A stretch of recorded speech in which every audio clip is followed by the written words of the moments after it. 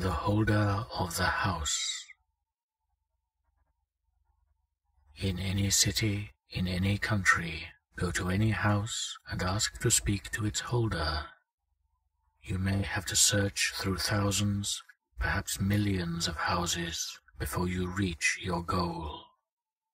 If and when you do, though, when you ask for the holder of the house, the person you talk to will address someone out of sight and beckon for you to enter. When you actually get inside, do not try to make sense of your surroundings unless you want your brain to explode. You may look at any area that is bathed in some form of light, no matter how dim, but you must not look into the dark hallway because you will be too fascinated and therefore distracted by what you encounter in there that you may not ever get out. You are also advised to not focus on anything in the house for too long. The house knows you have arrived. You will be tapped on the shoulder. Now you may focus on who tapped you on the shoulder. It may be a man a woman, a child, or something else. Do not show any fear, surprise, or disappointment in response, but always face the person you are talking to. Ask this person, what is their dwelling truly made of?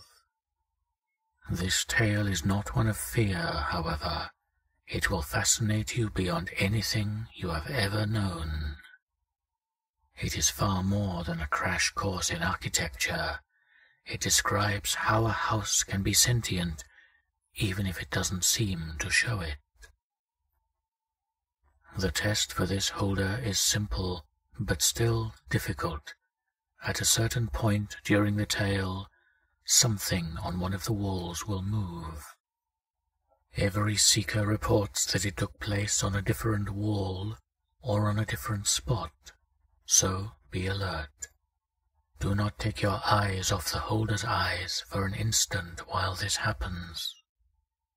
If you look at the thing that moves on the wall, it will grab you and pull you into the realm beyond the dark hallway, and that will be the last anyone ever sees of you. The holder will finish his tale with these words, So it is everywhere.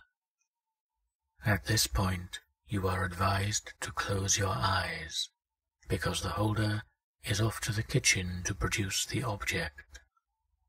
Again, all of the very few seekers who have ever made it this far have reported that they closed their eyes when the holder stood up.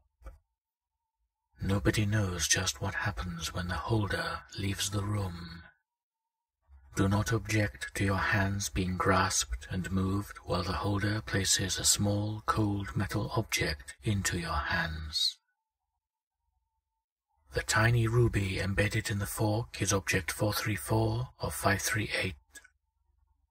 They are weary, they are hungry, and they want to come home.